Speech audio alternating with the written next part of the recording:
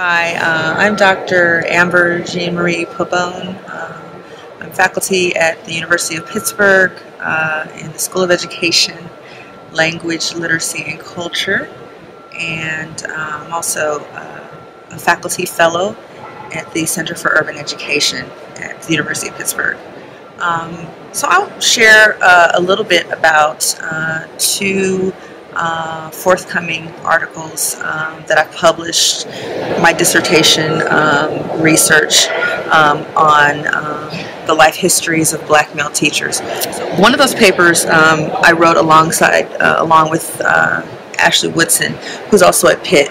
And in, in you know, in both, both, in all of the work that I've been engaging in, um, disrupting monolithic um, narratives about um, black male teachers has been sort of at the center of my work as well as um, you know centering the, the lives and voices of black men who teach um, you know in their in their own voices from their own perspectives um, to sort of talk back to um, uh, negative ontologies um, that exist in the discourse. A, a, recent piece in which I examine the schooling experiences um, of black a group of black male teachers and couple um, social suffering as with life history methodology um, to engage in an analysis of how these teachers experienced uh, frustration, uh, marginalization, and misery in their schooling lives,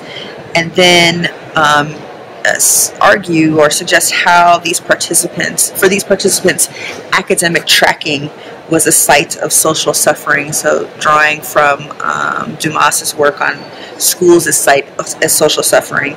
Um, I maintain that this suffering persisted into the participants' adult lives uh, as classroom teachers as they witnessed and attempted to mitigate the struggling of their own black male students. And um, I'm arguing that these findings have implications for further research on black male teachers as well as their recruitment and retention in U.S. public schools.